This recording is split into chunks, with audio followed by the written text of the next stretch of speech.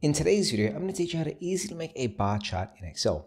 For those of you that don't know me, my name is Aldo and I do work at Microsoft, but I also love making videos help people use their computers better. With that being said, let's get into this. So you can see here we have some fake sales data over six months of the amount of fruit that has been sold. The first thing I'd recommend to do is highlight all of that information and then under the Home tab on the right hand side, there's the option of Format as a Table. Drop this down and pick what works best for you. I like the nice light blue with columns and then make sure you have the option of my table has headers turned on. This tells Excel that the top row is your table headers and then simply select on OK. You see here, it's going to convert that data into nicely formatted tables. What you want to do now is highlight all that information and then in the bottom right hand corner, you see there's that little square with the lightning symbol. This is called quick analysis and it's super cool.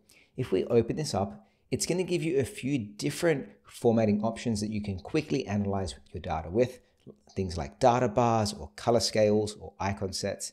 And if we choose on the charts, it also has a few recommended charts as well that you could very easily pick any of these charts, select on it, and then go ahead and start editing. But if you don't want to use one of those pre-selected charts, what you want to do is go over to the insert section and then you'll see here in the middle it has all these different charts. From here you could choose to drop in a 2D column chart or a bar chart. You could choose to even create a line chart or a pie graph.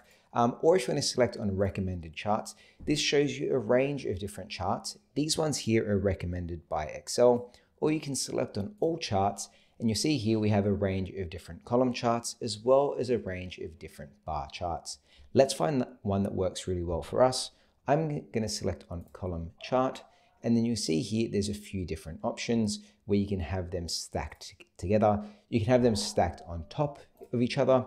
You can have 3D charts. You can have 3D stacked column charts. There's so many different options. Let's go ahead. I'm going to pick a really basic one. I'm just going to pick a clustered column chart. And you see you have two examples down the bottom.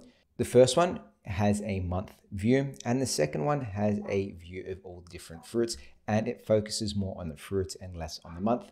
I'm going to select on the first one here and simply select on OK. This is going to drop the chart into Excel. Let's make that nice and big now, easy to work with. One thing I would show you is that if you've accidentally selected the wrong column to row, you can use the switch data here. So instead of focusing on the fruit, it's going to focus on the months or vice versa. And it's that easy to insert a chart. You can also use the quick layout options to change some of these layouts around. And this is a really nice way of just easily making a chart that works best for you. And you can also drop down the chart styles and customize your chart very easily with some of the pre-built templates. If you want to get even fancier with this, you can use the plus button and this shows you all the different elements. Uh, so if you wanted to add or remove that chart title, you can also double click on that chart title and give it a name. You can select on your chart again, press the plus button. You can choose to add or remove different parts of the chart here. The option underneath that allows you to change the style of your chart, or you could even choose a few different color themes as well. So find something that works really well for you. And then of course you have the filters. So if you want to remove some information, maybe you don't actually need to see the orange sales for that month. And maybe you want to only have it for the first three months of the year. You can simply unselect these and select on apply. And you see it'll customize your chart for you. Oh, I've also deleted our chart title. Let's add that back in there.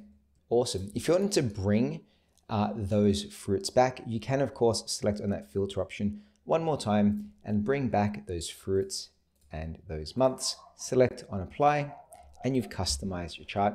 If you want to change the title axes, you can double click on this and you can also go ahead and call this number of boxes or whatever it is for your chart.